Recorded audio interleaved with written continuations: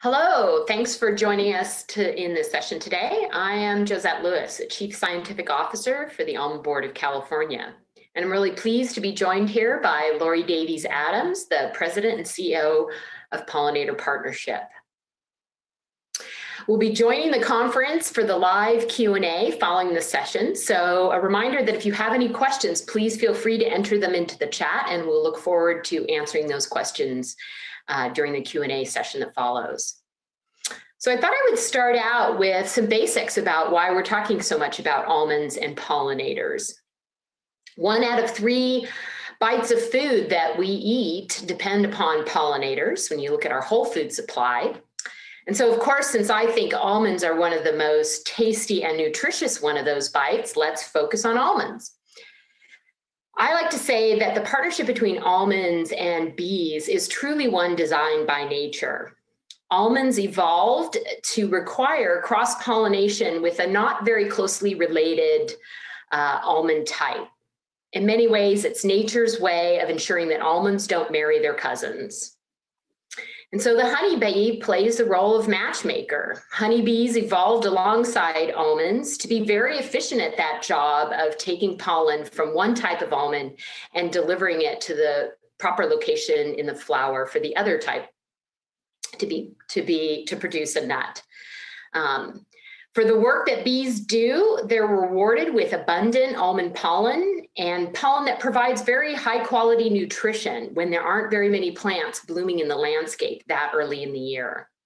So contrary to sometimes what we see in the popular press, UC Davis research shows that honeybee hives are actually stronger coming out of almonds than when they went in. And that's a result of this evolutionary relationship uh, that benefits both almonds and honeybees for the almond industry to ensure that we don't put nature's perfect relationship on the rocks, we develop the honeybee best management practices.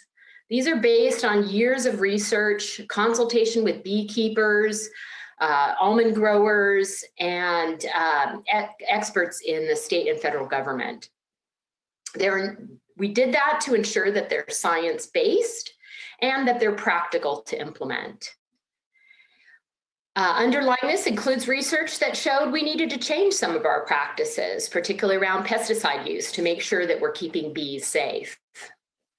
I do multiple trainings and we do a lot of outreach every year around these best management practices to ensure that they become standard practice among farmers and other professionals that work in the almond industry. We now are taking our commitment to responsible farming one step further those honeybee best management practices are embedded in one of our Orchard 2025 goals, which is to increase adoption of environmentally friendly pest management tools by 2020 by 25% by the year 2025. Um, so keeping bees safe is our very first job uh, in almonds. And we're now working to go beyond that, to add forage and habitat for honeybees and for other pollinators. Uh, a big part of this is adding cover crops to the orchard. Uh, cover crops are gaining momentum as a conservation tool nationally and internationally. But particularly for bees, it adds diversity to their diet beyond the uh, already very strong nutrition from almond pollen. And very importantly, it extends the forage beyond the almond bloom. So that is why research shows that uh, hives are healthier. They're not only stronger, but they're actually healthier coming out of orchards that have almonds and cover crops combined. Of course, cover crops can also offer benefits to growers, can improve access to the orchard during the rainy season uh, when the, the ground might be uh, muddy. It reduces soil compaction, which is very important for the health of the trees so those tree roots can breathe. If you think about almond harvest, it involves putting some heavy machinery through the orchard every year that can compact that soil and constrain um, water infiltration and aeration of those roots. Uh, research also shows that cover crops can increase the soil water holding capacity, something that's very important to us in a state uh, that is a Mediterranean climate and doesn't get um, as abundant rain as other parts of the country. And it provides uh, uh, benefit, provides an environment for beneficial microbes that can help nutrient cycling and nutrient uptake by the trees. This month, we're really excited to release a new tool to help growers uh, give cover crops a try and, and to make sure they get the most out of uh, cover crop. We're also going to fund a second year of what we call the B Plus Scholarship. Uh, B Plus Scholarship provided um, uh, cover crop seed to the first 100 growers, as well as uh, the registration fee for bee friendly farming, which you'll hear about next. But most importantly, these uh, activities are ways for us to build awareness. People start hearing a lot about cover crops from us. Uh, it reduces the risk of trying something new and it creates momentum. A lot of growers learn by looking at what their neighbor is doing. So if they look over in the spring and see a beautiful cover crop, perhaps one that's flowering, or maybe even when they look over now and things have gotten a little messier looking as those cover crops dry out naturally and look a bit more like weeds, if they see that more often, they become comfortable with these ideas. Well, we see significant opportunity to expand the use of cover crops, and that's what a lot of these efforts are, are for. I want to really caution about seeing cover crops as a panacea that fits on every farm, particularly here in California. Establishment of a good cover crop, certainly definitely something as lush as you see in that uh, picture on the guide that, will, that uh, we released this month. That requires good timing of fall rains. Um, as most almond growers have moved to highly efficient irrigation systems, things like double line drip and micro sprinklers, we don't really uh, deliver water to those rows in between the trees. We are being highly efficient in giving the trees just the right amount of water where they need it. And so getting good establishment of a cover crop, it can be very difficult in, in years where the fall rains came very late, as they did this past fall or in parts of the state, particularly the southern part of the Central Valley, where precipitation is much lighter. In all the work that I've talked about, we rely a lot on partnerships. Uh, when we did the B plus scholarship, what made that successful last year is that we could tap into Project Apis m.'s Seed for Bees program that provides uh, pollinator friendly cover crop mixes to growers and provides a lot of technical assistance to address questions that they may have. So that was a key to uh, making that program very successful. We work with Bee Informed Partnership. This is a program for beekeepers that provides technical assistance to beekeepers and I think everyone in the beekeeping industry would say collects some of the most valuable data on national statistics on the state of the health of the nation's beehives. We also work through the Honeybee Health Coalition. It's a way for us in almonds to contribute to bee health the other 10 months out of the year when they're not in almond orchards, when they're in other crops and in other regions of the country. It's a way for us to advocate for and inform um, practices for bee health throughout, uh, throughout the country. And last but not least is pollinator partnership. I'll let Laurie tell more, tell you more about their work, and then the two of us will talk about uh, how we're growing that collaboration in almonds and beyond almonds. So over to you, Laurie. Oh, thank you, Josette.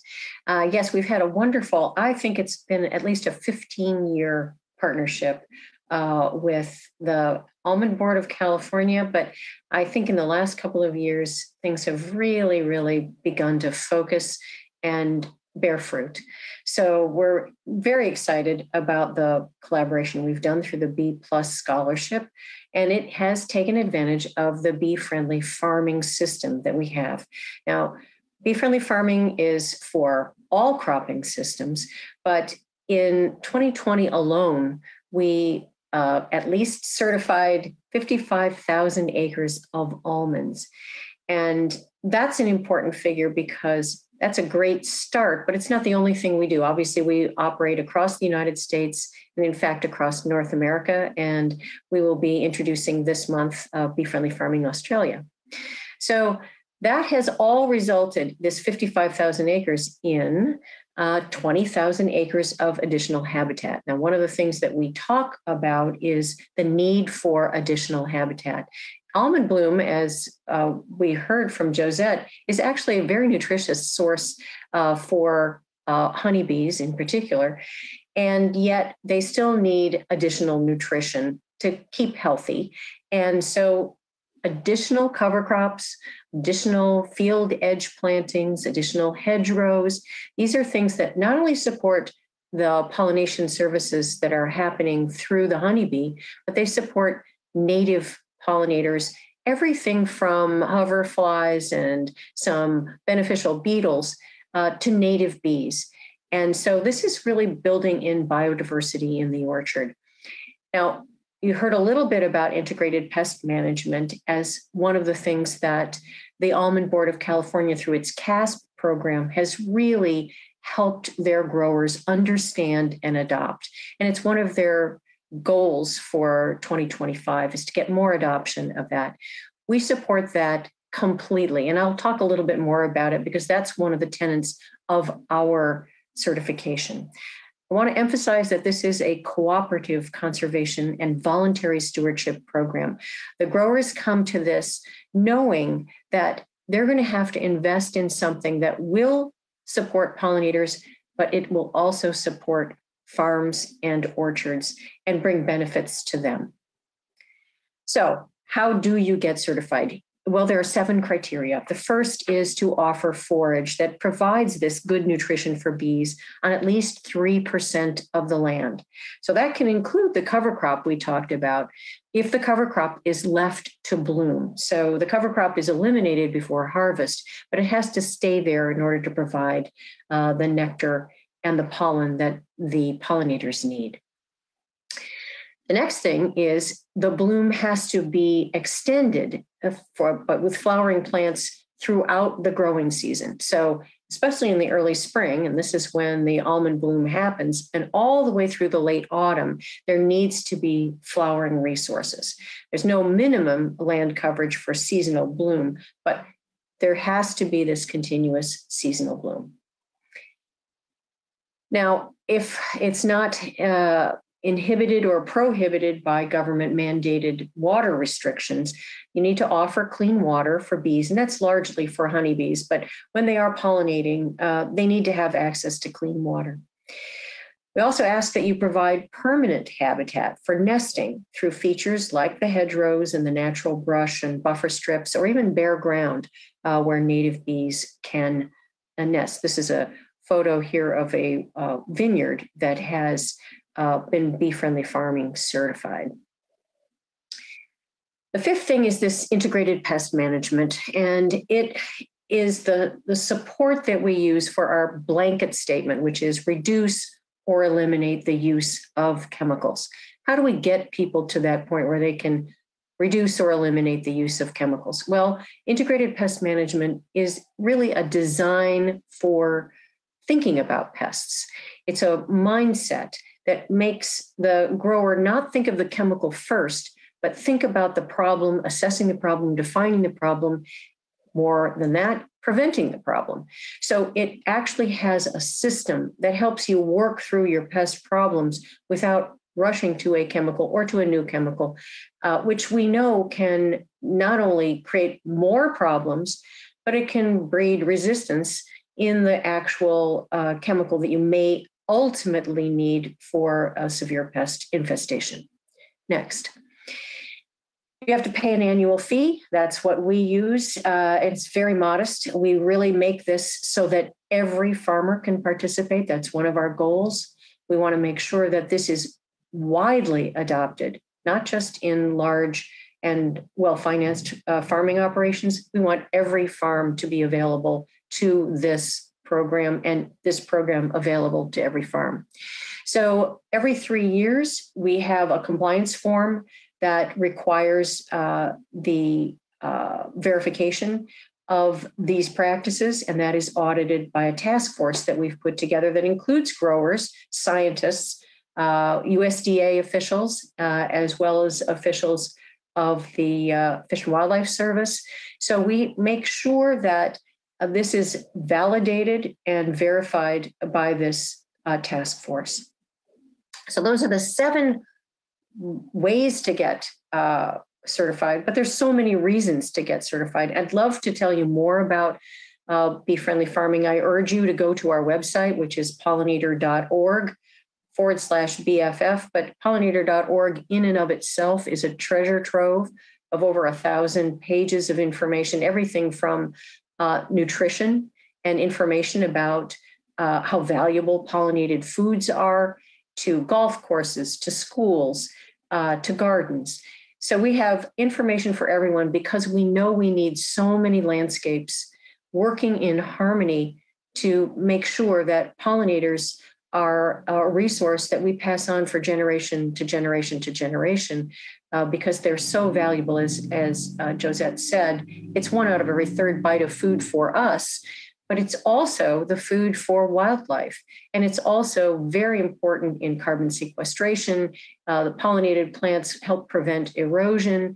Uh, there is so much good that happens with this relationship between pollinators and plants so I urge you to go to our website and you'll find a whole lot of uh, information that I think will be valuable for you. Thanks, Laurie. Um, so I thought we could talk a little bit more about some of the criteria for bee-friendly farming. When we started down a pathway with you of looking at how you interpret that those criteria that you just outlined, um, providing 3% of the uh, area in forage uh, through different blooms. We don't count the almond trees. Let me just say it's not an easy lift for almonds. So we we had to lean in on cover crops. Um, and as I talked about, that's um, a good tool, but not an easy tool for everybody. I have to say I was more pleasantly surprised when when it came to hedgerows, which is important for the habitat, and also maybe those uh, um, different uh, uh, blossoms all year round. Uh, it can provide additional timing for flowering plants. Um, when we looked at the, the data in the California Almond Sustainability Program, uh, over half of almond growers report that they have hedgerows. So that was really exciting.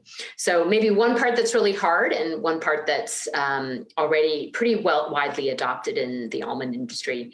Um, so as you've um, looked at uh, uh, these 55,000 acres now in almonds. Um, one of the things we've really valued is the flexibility in how you meet those, even though we've defined the criteria for now as requiring cover crops and hedgerows. But you're out there working with almond growers on this. So, what are some of the different models that you're seeing, and um, how are you kind of finding this balance between flexibility and making sure that um, you have some really science based criteria that people have to meet? Yeah, uh, well, it's it's not all almond orchards are the same. They're not all in the same uh, location. We obviously, as I said, advocate for all pollinators. So we're looking at uh, a full complement of pollinating species that need to have resources. And uh, we know that every orchard is still governed by the geography, by the precipitation, by uh, the landscape that, that uh, abuts it. So we have to look at not being too prescriptive about how this uh, this forage is provided, and it can be uh, buffer strips. It can be between the rows. It can be permanent. It can be cover crop, but it also can be in adjacent parcels. And the reason that that's important is because there are some landscapes where it just would not work to try to put in this pollinator habitat, but they may be next to less productive landscapes. It may be uh, things that are already out of production. It can be even the landscapes that border uh, outbuildings and uh, other non cropped landscapes. This is still providing forage, and the pollinators are perfectly happy to accept it in those circumstances. In addition, there are things like solar arrays, which are uh, coming more and more in uh, farm landscapes and in agriculture across the country.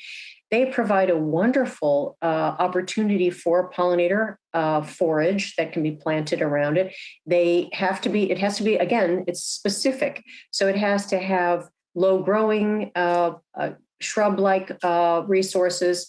Um, there have been some studies that have even shown that it can Im- increase the effectiveness of the solar arrays because it keeps the heat down on the landscape. So there are benefits to all of these things, but you have to be flexible. And again, in the kinds of plants that are selected for this, native plants are wonderful. They're not always needed uh, for cover crops. They're rarely used, but uh, even in permanent plantings, you can use some perennials that are introduced but not invasive that can provide wonderful floral resources, particularly as we've asked farmers to look at the full growing season.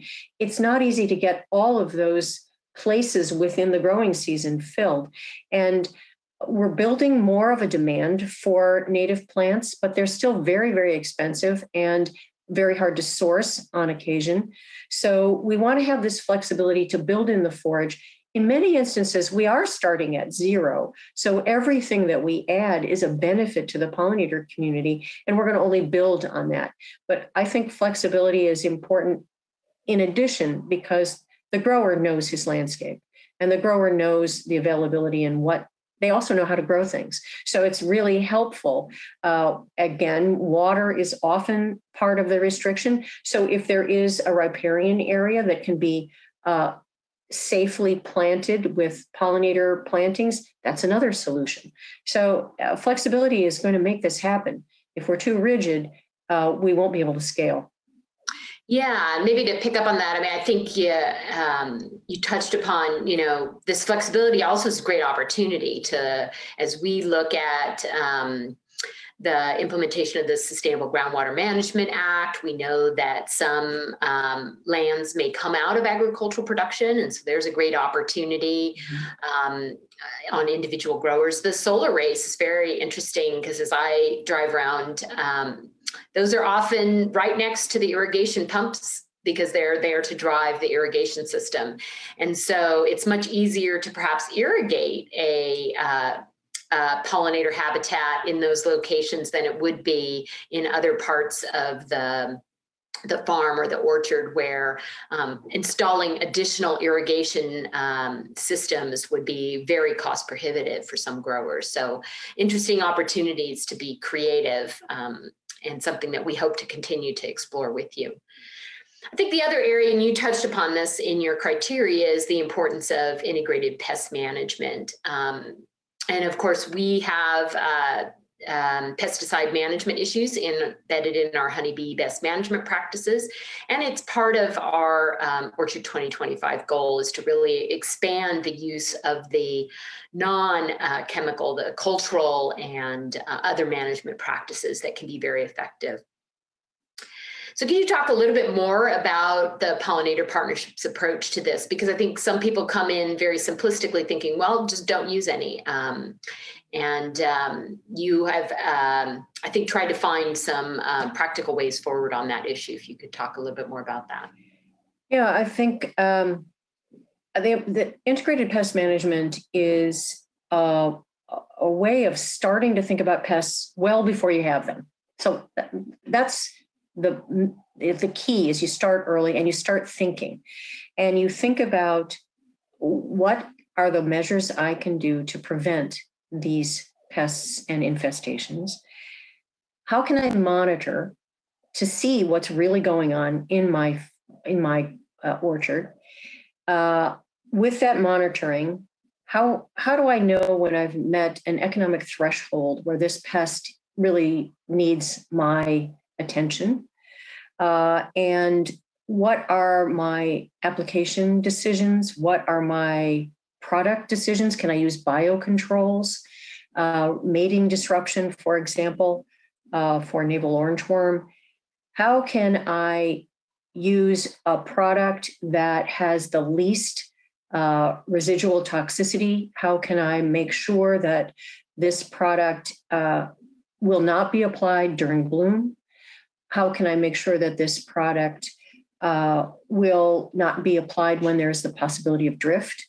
Some of these are legal constraints, but in the heat of the moment, they're not always adhered to. And that's what we have to really instill in the grower. Yes, they do. You must do this. And uh, the timing of the application is critical. Uh, is there foraging going on, not just of honeybees, but of any pollinator? What are the technical aspects if you have to use a chemical? Uh, nozzle adjustments, uh, the the type of application, whether it's aerial or uh, a trench uh, uh, a drench, you have to make sure that what you're doing every step of the way is a conscious decision. So you're not going according to the calendar, you're going to the re- reality on the field and, and, and in the field. So uh, for us, it's it's a way of having everybody understand that these interactions are going to take place in the orchard and how can we make sure that unintended consequences beneficial insects are not impacted if in fact you have to use a chemical? And in many cases you might not have to but if you're really smart you started way back in the prevention side. So integrated pest management is also something you have to prove. You have to actually not just say oh yes i did that you have to actually show us how you kept records how you monitored uh, the kinds of steps you took how many applications you actually did uh, all of this is uh, information that we need in order to certify that you are bee friendly. So it's a methodology, it's a way of thinking, it's a way of giving the farmer a tool no matter what problem or what chemistry comes along.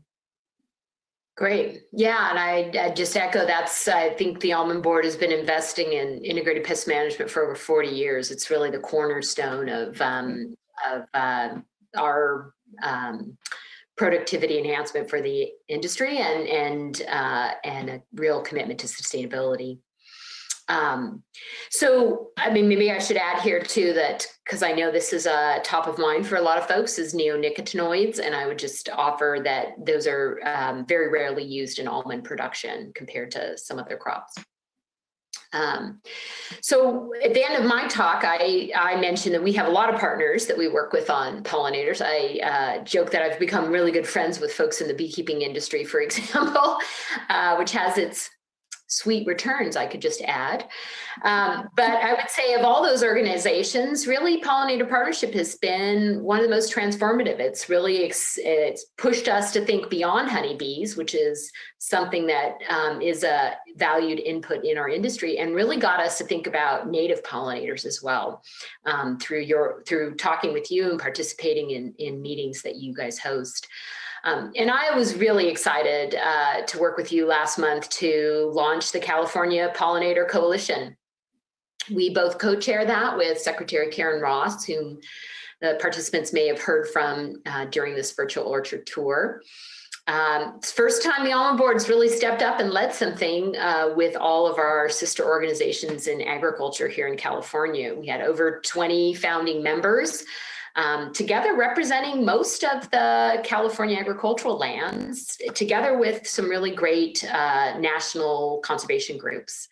Um, all of us united under the goal of expanding habitat on working lands for pollinators. So for us, this was a real step into a leadership role on uh, pollinators beyond honeybees. But this is uh, part of your day job. You work on pollinator issues all year round and all over the country. So for you, what do you see as the opportunity with this California Pollinator Coalition? Oh, I, I love that question because this uh, this California Pollinator Coalition is the opportunity to bring the dialogue uh, of the things that can be done, and not just putting in habitat, but also integrated pest management. So we want to bring uh, pollinators into the landscape, and then we want to protect them with these management processes. But this is really the first time that I can remember where all of agriculture, and, and literally the coalition represents most of the acreage, uh, from the Cattlemen's Association to the citrus growers to the almond board to Western growers to the Farm Bureau to, uh, to the alfalfa growers. This is, I mean, and more. This is bringing all of those voices and all of those problems together with all of the conservation groups that really want to work with working lands, who really want to say, we can't help pollinators if we don't have the working lands of California on our side and with us and with us on their side. So this coalition represents great growing and great pollinator sustainability. And in many ways, the agricultural community and the pollinator community are facing a lot of similar problems. In California, the temperatures are rising faster than they are in the rest of the country. Uh, we have fires, uh, we have drought, we have reduced landscape. The real estate press is hard for not just for agriculture and to keep growing 40% of the food that the nation eats but it also is hard for these habitats that pollinators desperately need. They need the real estate so that they can exist, so that they can forage, so that they can have the food to provide us the pollination services. And again, not just for agriculture, but for ecosystem services that are for wild landscapes as well. So for me, uh, this dialogue, and it's going to be a running dialogue, and we're going to try projects. Some of them will work, some of them won't work, but we're going to try and keep everybody together with these goals of adding biodiversity to the working landscapes, protecting it, and learning as we go in a dialogue. And in a time frame when optimism has been uh, sometimes uh, hard to find, for me, this kind of work means that people are willing to set aside a few things and work together on larger goals. And that's a for me a model for how we're going to solve problems going forward and we're going to have lots and lots of problems to solve. So for me this is uh, really one of the most exciting developments uh, that you could ever have and yeah it's going to be a it's not going to be an easy lift it's going to be something that we have to build on but i couldn't be more excited Great. Well, you might have just answered this, but as we wrap up, uh, what is your vision for the future for pollinators, uh, the relationship between pollinators and agriculture? Oh, uh, my vision is that we'll keep growing. We'll keep involving more and more organizations, uh, both on the grower side and on the conservation side. We'll build more partnerships, and ultimately, we'll be able to produce quality food at a reasonable price that's sustainably grown for the next generation and the next generation, along with pollinators that are going to supply pollination services, but also they're going to provide the the carbon sequestration, uh, the beauty, uh, the diversity that we need in our landscapes that currently are are in need of that diversity. So my vision is uh, a California in bloom. That's my vision. And uh, it's going to happen because people who voluntarily came together and said, this is important to us. And I think agriculture is definitely leading the way on this, but conservation is right there in a supportive role. We're going to do great things.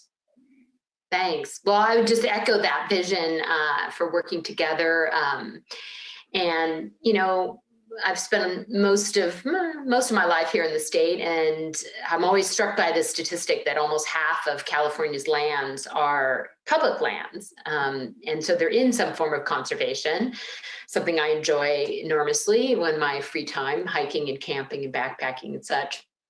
Um, but I realize those are really mostly in the mountainous areas that surround the Central Valley. And when you look at the Central Valley, most of that is privately held land. So for me, that means that agriculture has to be part of the solution. And I think this coalition and the kind of work we talked about here today shows that we can if we work together and find um, pathways forward that um, that work for both sides. So really thankful for the partnership that we've had with you. Partnerships everywhere in your name and in our uh, in our working relationships. But thanks again for joining me for this session, Laurie. And again, for folks who uh, have any questions, please enter them in the chat, and Laurie and I will be looking forward to answering those in the live Q and A that follows.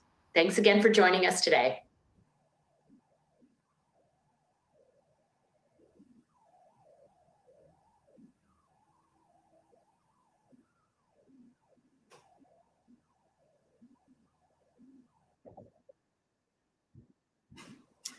All right, so we have a number of questions and I'll get us started, Laurie. There's a few questions around cover crops. What types of um, plants are used in cover crops and what happens when uh, they dry out sort of at the end of the green season here in California.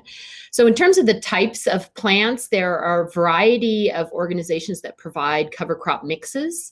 Um, I would say generally they fall into two categories the pollinator mixes and the soil builder mixes, as they're often called. And um, a very common uh, source of cover crop seed in the almond industry is Project Apis m., a group that has a program called Seeds for Bees. Um, and so those cover crops include um, things like mustard, which is actually a wild uh, plant here in California. It's very yellow and is very good for pollinators and blooms very early in the year, works well in a Mediterranean climate. And then uh, typically there are some uh, uh, clover species that are in there as well, a couple different kinds of clover that add nitrogen back into the soil.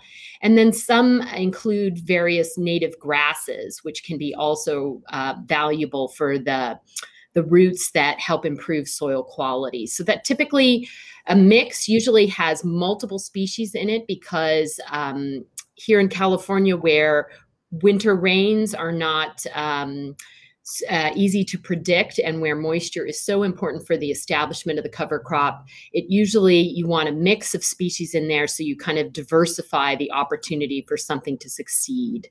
Um, and then, as I mentioned in the in the video, there the cover crops here when our our um, natural moisture, the winter rains and dew uh, is over for the season, as is typical in a Mediterranean climate. Uh, long about May, things start to dry out and become a little less attractive. Um, and so there was a question about fire risk damage associated with brush. Uh, first of all, these are not really woody species, so they're typically more like wildflowers that dry out.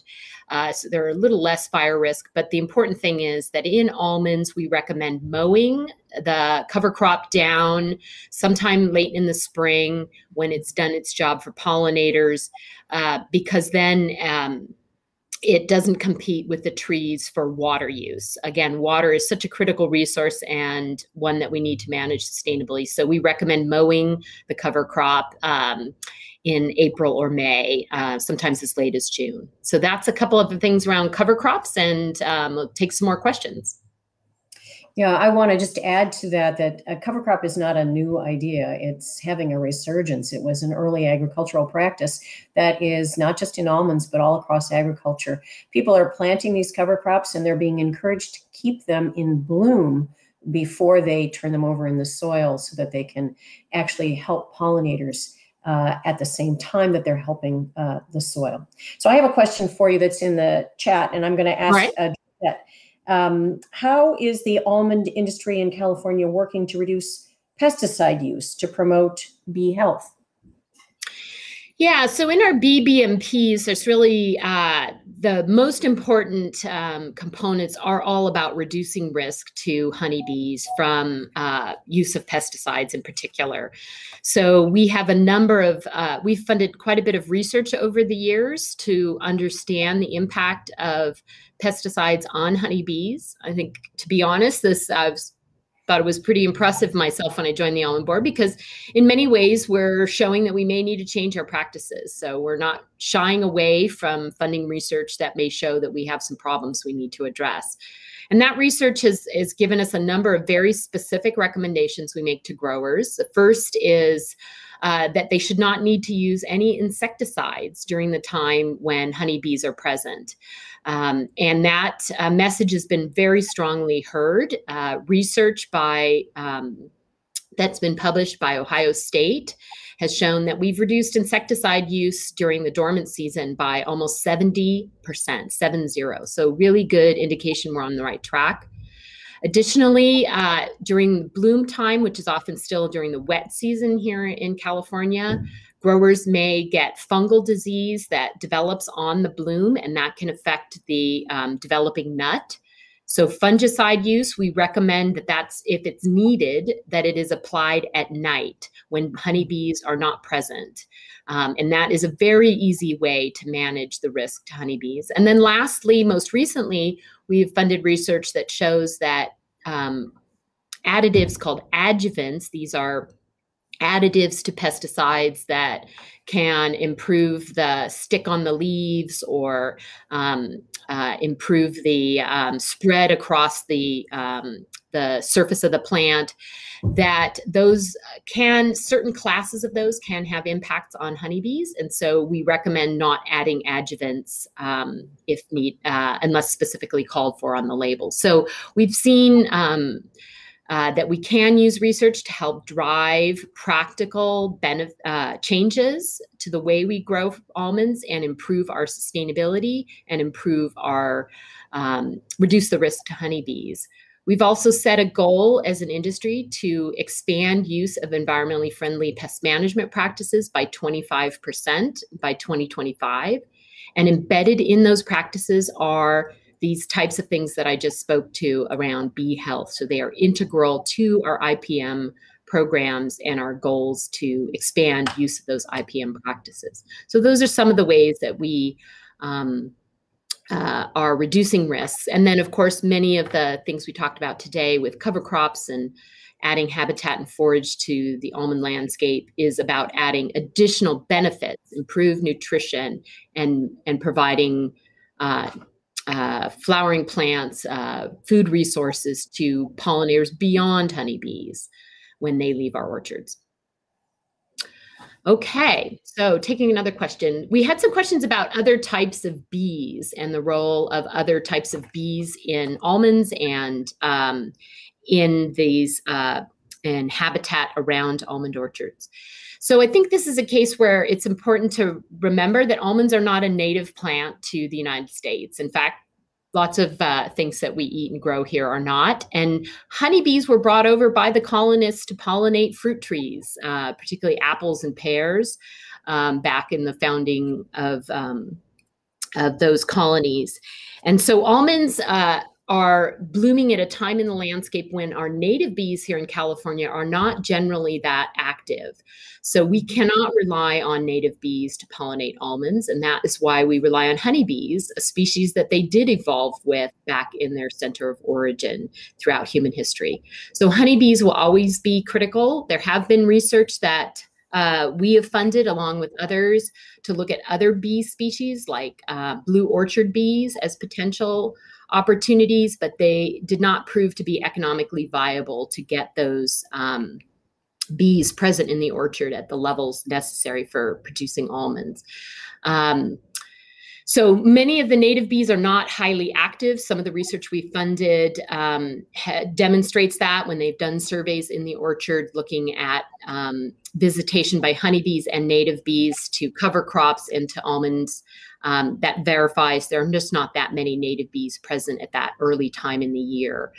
Um, however, by planting cover crops, by putting in habitats such as hedgerows, riparian buffers, even sort of pollinator pastures on parts of farm that are not being actively managed, we do know that those are great for native bees. And those native bees, when they are present and even in low numbers, can actually uh, create a little competition for the honeybees and sort of gets the honeybee to up their game and they do a better job of pollinating. So there is a win-win. But I would say uh, that really the point of planting pollinator habitat is to um, to expand the benefits and to integrate um, almonds into a healthy ecosystem here in the Central Valley. Laurie, you're more of an expert on native bees. I don't know if you want to add anything to that. Well, there, I think the way to look at this is more uh, the managed bees uh, versus the wild bees, the ones that come on their own and the ones that are managed by humans for agriculture. So obviously the honeybee is uh, a managed bee, but there are other managed bees. Bumblebees can be uh, managed, alfalfa leafcutter bees. You mentioned the blue orchard bee, the osmia. Those bees are used in agriculture uh, and they're used purposefully. They're brought to the agricultural field. But you can also have, as Josette pointed out, you can have the circumstance where you have wild bees that also help with the pollination. Uh, one good example in California agriculture, though not in almonds, is the hoverfly.